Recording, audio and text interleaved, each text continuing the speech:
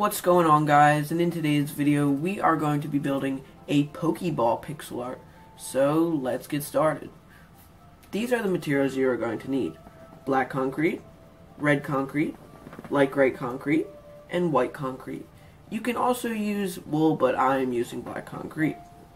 So we're going to place four black concrete. One, two, three, four. On top of that, four light gray concrete to the left and right, we're going to place two black. And then on top, we're going to place a light gray, a black to the right, and three more light gray. Then we're going to place three white and one light gray and a black. So this is the start of our Pokeball.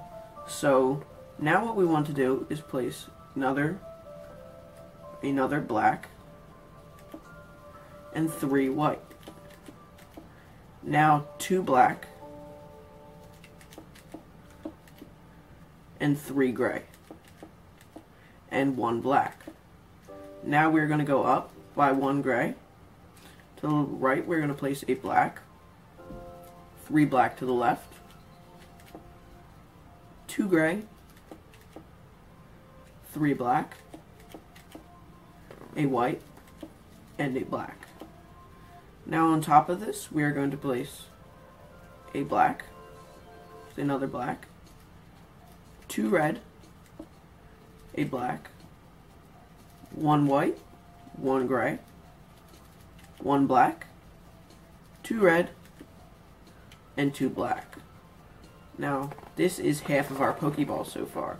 And I know it looks weird, but it'll look good once we finish. On top of this, we're going to place a black, four red, two black, four more red, and a black. On top of this, we're going to place a black, three red, one white, and now six red. One, two, three, four, five, six, and a black. On top of this red, we're going to place a black, four red, three white, two red, and a, oh, sorry guys, one red and a black. On top of this, we're going to place a black, two red, that's where the two red go, a white, and five red. Now we're going to place a black.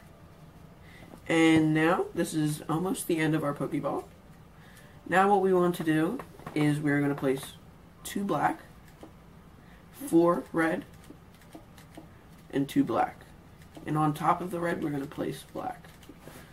And that is how we make a Pokeball, guys, in Minecraft. So thank you so much for watching, and I'll see you all in my next video. Bye, guys!